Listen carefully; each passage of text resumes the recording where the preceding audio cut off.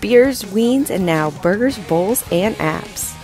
Cholo Dogs has opened inside Persimmon Hollow at Lake Eola. Starting this week, the new expanded menu will be available. We tried the bean dip, the chili relleno bowl, and the El Cholo burger.